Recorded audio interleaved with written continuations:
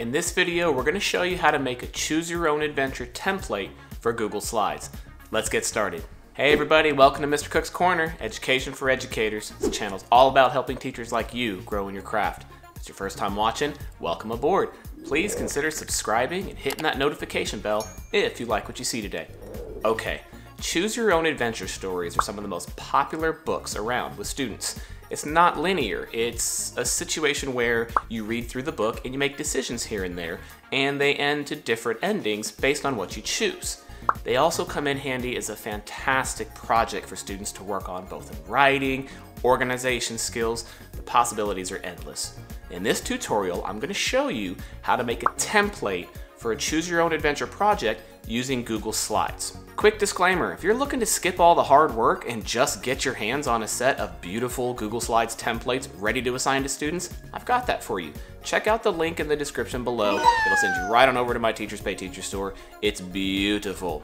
But if you want to do it yourself, let's get going. Step one, determine the structure and layout of your story. It's going to get frustrating really quickly if you haven't already settled on a fully finished structure for your story. You're going to want to know how many endings there's going to be, how many choices you need to make, and how each page is going to link to the other pages of the story. Are you going to have a warning page? Are you going to have an about the author page? This is especially important because with choose your own adventure stories, they're not meant to be read in a linear fashion. You don't just go one, two, three, four, five. You're hopping around. Here's a sample layout this is what I use on my particular sets of templates. You're free to use this. I'll drop a link to the picture in the description of the video. Once I have a solid understanding of how many slides I'm going to need and where I'm going to put them, I can then start going into my Google Slides project and begin setting up the structure. Step two, determine exactly how many slides you will need. So the key here is not having additional slides, having more than you need, or not having enough. You want to know exactly how many you're going to need right off the bat. Again, if we're using the example structure from before, we would need 17 slides. So from your template, you're going to want to have a completely blank slide and duplicate it, because if I sit here and just go add, add, add, add until I have enough,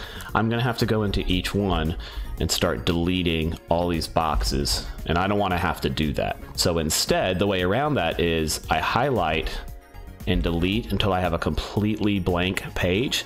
And then I just click on the slide and hit Control D for duplicate. Now I have an exact blank duplicate that I can just copy over and over and over. And I'm going to do that until I have 17 slides. Now that I've got the structure down, I'm ready to move on to start working on my backgrounds of my slides. Step three, design your backgrounds separately. The single biggest headache you can give yourself is trying to design your backgrounds and art elements within Google Slides. So here's an example. I made this on my Google Slides presentation. It's pick your own pathway. It's got a picture of a computer here. It's got a little emoji, but notice how each individual object is its own thing. It doesn't take but one move for me to accidentally move it, to grab it, to drag it, and I have to keep hitting the undo button when students go into work on this and they start inserting text boxes, it's so easy to accidentally just grab and move things around that it's going to frustrate them. I've seen this lead to tears with kids on many, many occasions. Unfortunately, and you can see here when I right click, there, there's no option for freezing it to the screen. You can't lock these things onto the screen. The only way to lock something is to go to the background and change the background. So the solution for that is to use an alternate program. Now I'm using Canva here. You can use PicMonkey, you can use Adobe Acrobat, you can use Microsoft Paint, old school if you want to. You can use just about any program that you have available, but the purpose is to design your backgrounds first using a separate program and then save them as pictures. That way you can use them as the background. So you can see here on this, I've got all these elements on this pick your own pathway page. Not to mention that Canva has tons more cooler objects and things to insert. It gives you way more choices to make it a lot more interesting. But once I'm finished, all I have to do is hit the download button and save it either as a JPEG or a PNG. PicMonkey looks a little bit different, but it gives you the same option. Adobe Acrobat will give you the same options.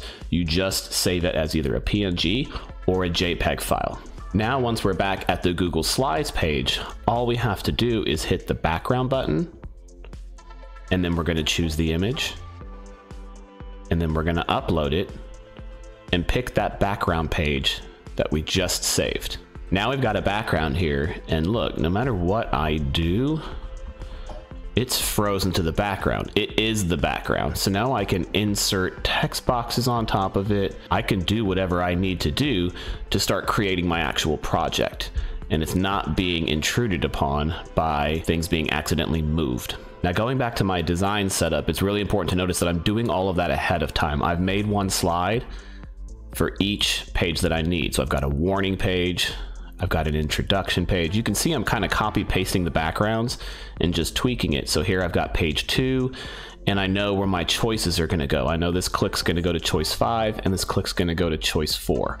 And just as a reminder, I know these things because I've got my layout right here. So I know that if I'm working on designing page three, I'm going to have to make a choice that either sends me to page seven or to page six. So when I'm on page three, I know that design page is going to have to have a three in the top corner and a choice to go to seven or six. And as you can see here in my design page, I've got page three right here and choices to go to either page seven or to page six. Having that structure is super important. Once I've got them all, then I'm just going to download all of them at one go. And then I can go into my backgrounds and insert them. So now I've gone through that process and I've added all the slides that I need for the entire project. It just takes a second to just click background insert. But as you go through, all my pages are in order.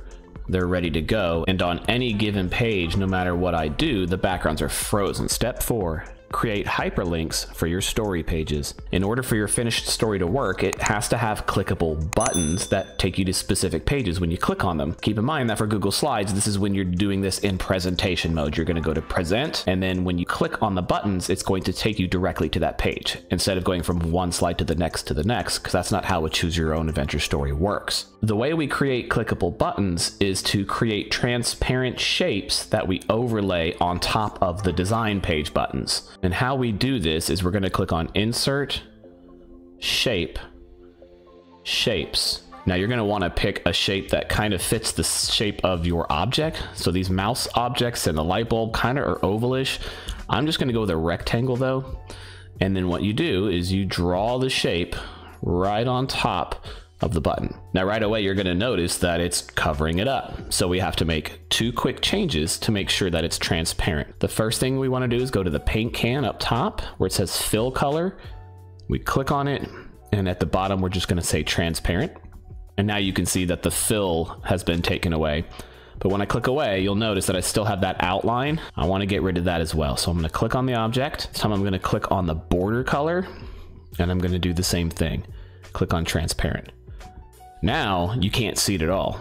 It's there, but you can't see it. The next thing to do is to link it. And yes, you can take a shape and you can link it to another slide in the presentation. So in this case, we want to link it to page two. Before we do that though, one thing I want to point out is that page two here is not slide two. You got to remember the difference.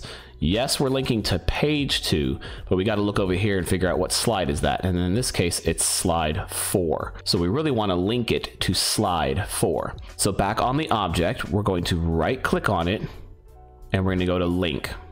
When I click on link, it's going to ask me where I want to go. I'm going to go right down here to slides in this presentation and I'm going to choose the slide that I want. Again, I want to go to page two, but page two is on slide four. So I'm going to click on slide four now once I've linked the slide, you can click on the object and you can see that it indeed is going to send to slide 4. Now we've got some options here. We can copy the link in case I want to send it to slide 4 again. I can edit the link. So if I clicked on the wrong slide, I can just click here and I can change where I want it to go. So you can change that link at any time. It's not hard to do. You can also unlink it if you don't want to use it anymore. But now I have an active working link that when I go into present mode, it's going to take me exactly there. Let me show you. Here's that page in present mode. When I hit enter to go to the next slide, it goes to page two. But from here, I don't want to go to page two. I want to go to page four. So if I hit enter again, it doesn't take me to the right place. It takes me to page three, which is what a slides presentation would do. It would just go to the next page. However, in present mode now, you'll notice that when I hover over it, it goes from a arrow to a pointer because now it's a clickable button. So when I click on it, it now sends me to page two which was slide 4. So it sent me exactly where I needed to go. Now, one thing that's difficult is that each page has three buttons. And if I have to create every single button without shortcuts, it's going to take a while. So one thing that I like to do is just copy paste the button. And then all I have to do is change the link. So in this case, I'm going to click on the button.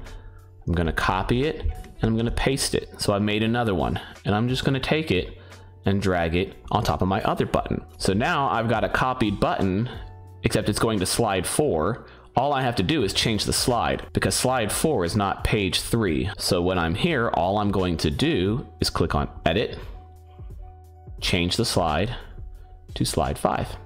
And now it's fixed. When I go to my next slide, I can just hit the paste button again. There it is. And hit the paste button again and drag it over. See how quickly I just made those next two buttons? So now when I click on it, again, edit the link, slides in the presentation, change it to six. Page five is gonna be slide seven. So I'm just gonna change it to slide seven.